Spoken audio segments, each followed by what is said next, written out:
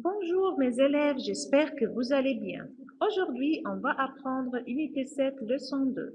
On va apprendre aujourd'hui verbe écrire, verbe faire et verbe lire.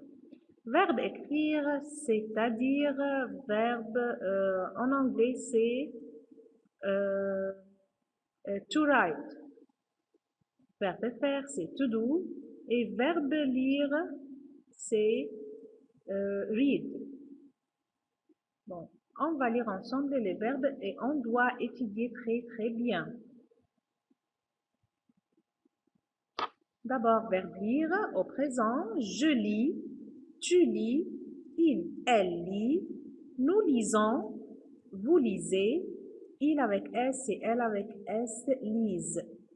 Notre fois, je lis, tu lis, il, elle lit, nous lisons, vous lisez, il avec S et elle avec S lisent. Bon, verbe faire, je fais, tu fais, il, elle fait, nous, nous faisons, vous faites, ils, elles font. Notre fois, je fais, tu fais, il, elle fait, nous faisons, vous faites, ils, elles font. Bon, euh, verbe écrire. J'écris, j'écris. Tu écris, tu écris. Il écrit et elle écrit. Nous écrivons, nous écrivons. Vous écrivez, vous écrivez, vous écrivez.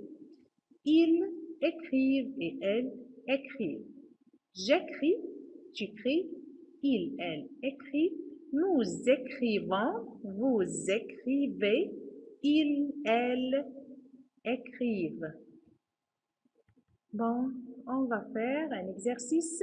Conjugue les verbes suivants. Numéro 1. Tu, avec verbe lire. Tu, histoire. Tu lis. Tu lis l'histoire. Très bien.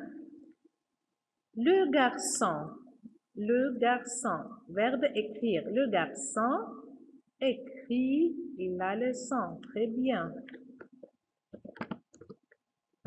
Avec T. Écrit la leçon. Numéro 3. Je fais du sport. Bravo. Fais avec S, T. Je fais du sport. Numéro 4. Les élèves font, les élèves, pluriel, font les devoirs. Alice lit avec T. Alice lit le journal. Numéro 6.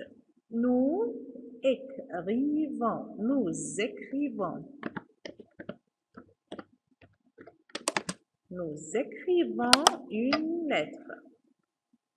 Bravo, numéro 7. Vous faites. Vous faites la vaisselle.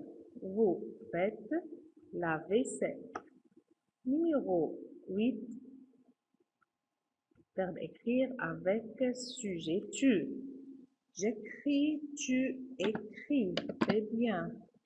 Avec S. Tu écris, un article. Numéro 9, qu'est-ce que tu, verbe faire avec tu, qu'est-ce que tu fais? Bon, mes élèves, c'est tout pour cette leçon et à bientôt.